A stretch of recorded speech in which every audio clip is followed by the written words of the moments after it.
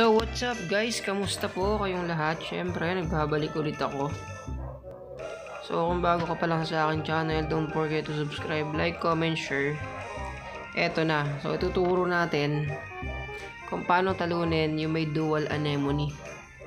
So, dito kasi guys, ang ginawa ko, ah, ang kailangan lang kasi, or ang technique para matalo talaga si ah, yung mga aqua na naka-dual anemone, aquaphonic or vitality. Ah, kailangan unahan mo siya sa speed. Kasi unang-una wala namang ano wala namang ah, sweepscape upstream or walang kahit anong cards na pwedeng pabilisin yung may aquaphonic or naka dual anemone. So sa energy kasi guys talagang one to sawa sa energy yan. So ang pinakamagandang gawin pagka ganitong ah, laban yung 1v1 reptile against aqua na merong anemone. So kailangan i-slow mo siya.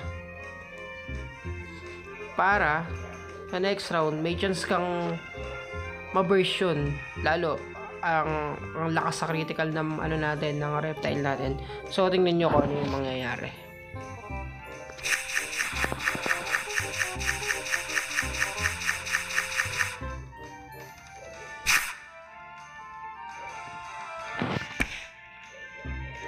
So ayan 'di ba?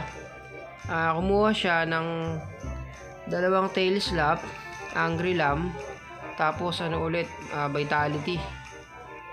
Pero yung energy niya marami pa rin. 'Di ba?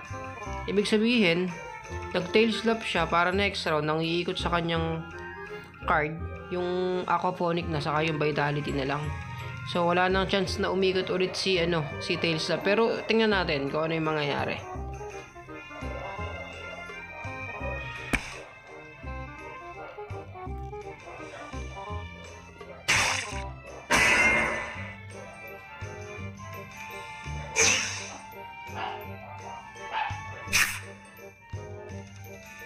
So dyan, di ba in-slow ko na siya? So katulad nga na sinabi natin kanina, ang aquaphonic mga lods, hindi siya makakapag ano, makakapag uh, gain ng speed na kahit ano. Kasi ang karaniwang card niyan ah uh, yun nga dalawang an anemone uh, tail slapper uh, uh, angry lamb. Or angry lamb yun yung magiging cards kasi niyan eh. So di ba kaya kailangan may meron kang pang slow para mauna ka sa kanya so pagka nauna ka kasi tas may energy ka mas malaki yung chance mo manalo sa ano sa naka-dual anemone So, mahirap kasi pag nauuna lagi yan eh. Magbubuhay lang, magbubuhay lang na magbubuhay yan eh. So, tingnan natin kung ano yung mangyayari susunod.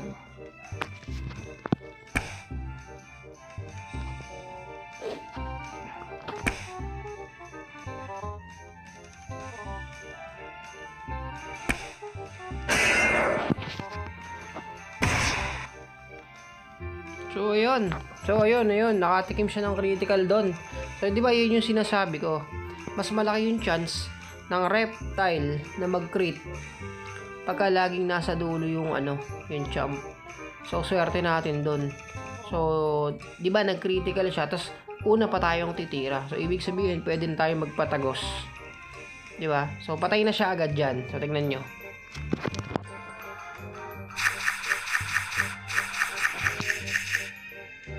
So, ayan pa, kahit lumabas yung card niya, yung Aquaphonic sa yung Vitality, wala na sang chance kasi patatagusan na natin siya eh. 'Di ba? So, tingnan nyo.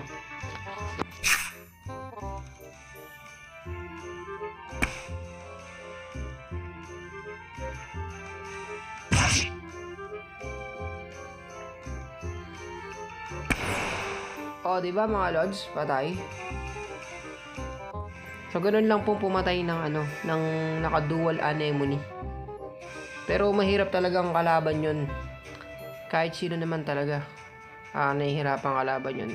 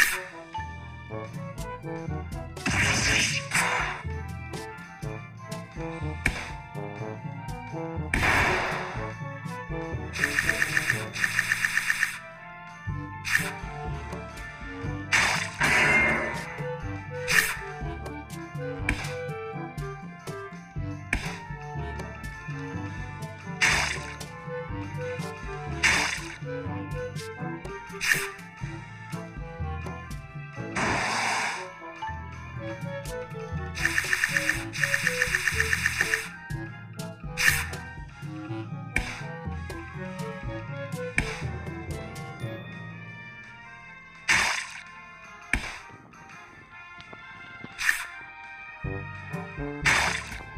you.